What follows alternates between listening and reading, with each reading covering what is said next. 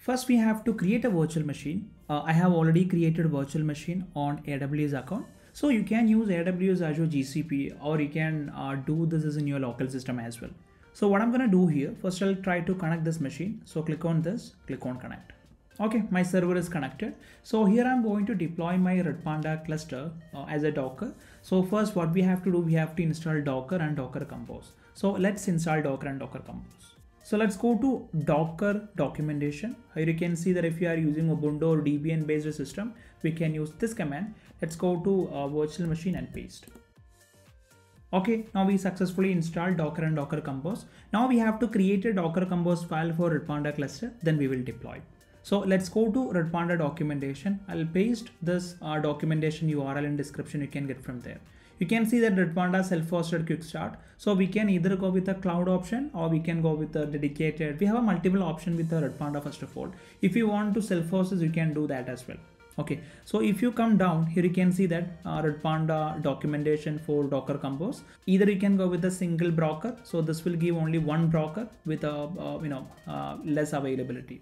Okay. But if your workload is very high then what you can do you can select the three broker option then you can deploy this. So no need to do any changes. If you want to change the redpanda volume name if you want to change any other port number configuration uh, if you want to change any other configuration for this redpanda you can do this manually. So as of now, I'll go with the default option. So this is quite enough.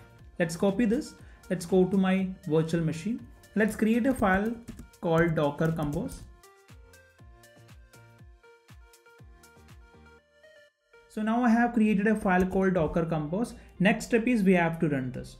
To run this, we can execute Docker Compose up minus D.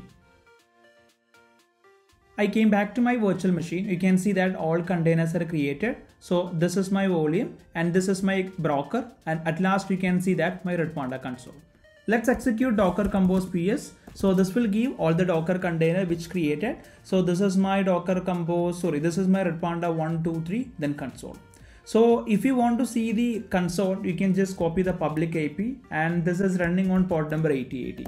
Let's hit on port number 8080 and this will open our redpanda console. And here you can see that my redpanda console, I have a one topic, I have a three replicas. So three broker are only and this is my master one. Okay, let's go to topic. As of now, I don't have any topic over here. So if you want to create a topic, you can create the topic from the console itself. Let me call this as my topic okay. Or test topic.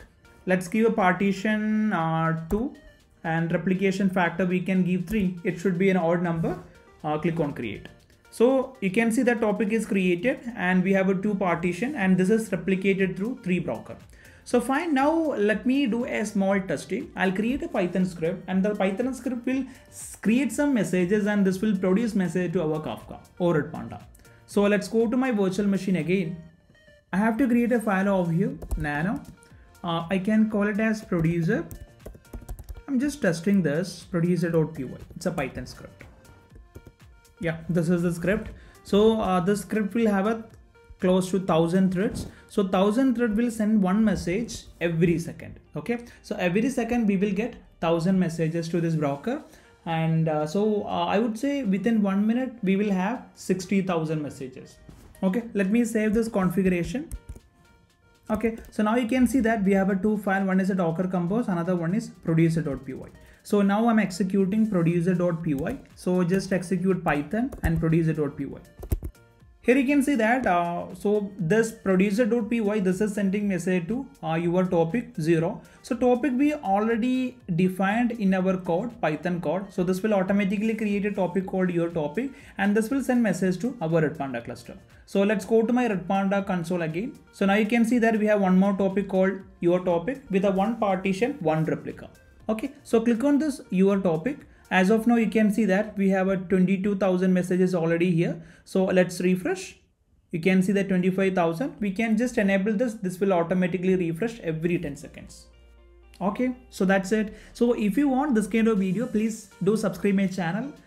So then see you next video. Bye bye